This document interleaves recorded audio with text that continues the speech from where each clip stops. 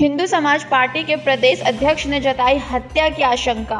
उत्तर प्रदेश की राजधानी लखनऊ में कल हुई हिंदू महासभा प्रदेश अध्यक्ष की हत्या हत्या से सकते में आई हिंदू समाज पार्टी के प्रदेश अध्यक्ष अपनी जान को खतरा सताने लगा है।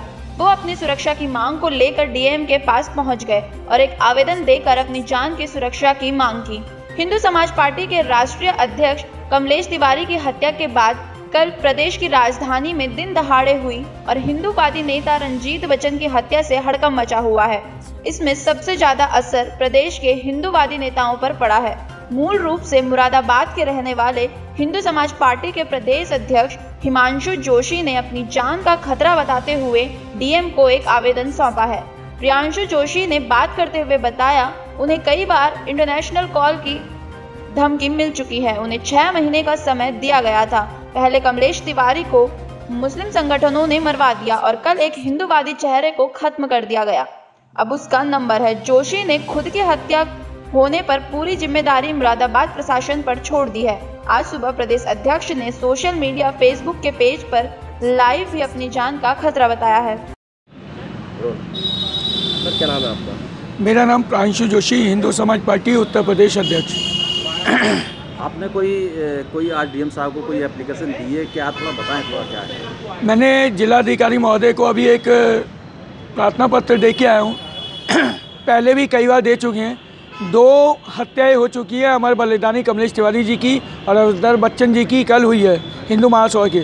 और तीसरा नंबर अब मेरा है, इंटरनेशनल कॉल से भी कई बार धमकी आ चुकी है, लेकिन प्रशासन के संज्ञान में कुछ नहीं आ रहा है। उनको लगातार सुरक्षा के लिए कह चुका हूँ। अगर आप वो नहीं देना चाहते सुरक्षा कोई बात नहीं। मैंने आज आखिरी बार इसलिए दिया है कि कल को अगर मेरी मौत मतलब मेरे को कुछ भी होता है तो नहीं मेरी मौत के जिम्मेदार मुरादाबाद प्रशासन होगा क्योंकि उनकी नॉलेज में मैं कई बार ज्ञापन दे चुका हूँ और कई बार मेरे कार्यकर्ताओं ने भी ज्ञापन दिया है लेकिन ये लोग कुछ भी संज्ञान में ले नहीं रहे नहीं किस तरह की धमकियाँ मिल रही हैं आपको? धमकी मिल रही है? जैसे कि इंटरनेशनल कॉल की मैंने उस दिन इनको दी भी थी कि कई इंटरनेशनल कॉल आई थी नाइट द्वारा धमकियाँ आ रही थी। तो उसके बाद मेरे को दो तीन बार थाने चौकी में बुलाया गया और जब रुपेंद्र गौड़ इंस्पेक्टर साहब थे तब उन्होंने मेरे से ये कहा था कि अगर आपको कहीं जाना होता है तो आप हमें नॉलेज में डालिए और हम आपके साथ फोर्स भेजेंगे। तब इन्होंने एक दो बार बस लैपट मेरे साथ भेजी थी दो तीन कार्यक्रम में उसके बाद कोई सुरक्षा दी नहीं गई है।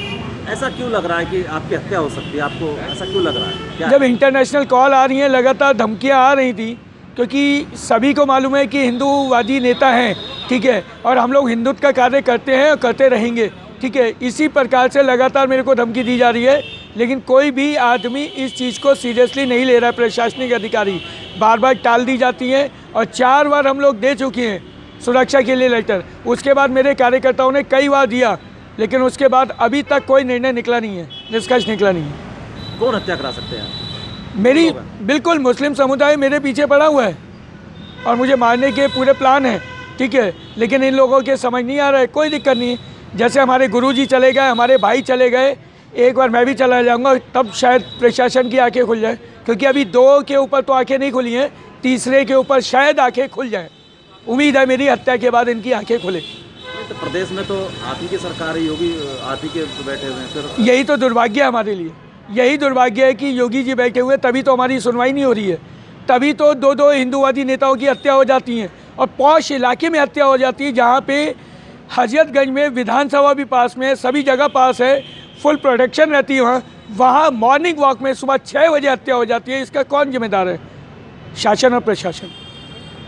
इसीलिए मैं बार बार विनम्र निवेदन करता हूँ, अगर मेरी इस चीज़ पे सुनवाई नहीं होती है तो हमें कोई दिक्कत नहीं है, लेकिन आज हमने लाइटर द्वारा लिख दिया है कि हमारी मौत का जिम्मेदार मुरादाबाद प्रशासन ही होगा।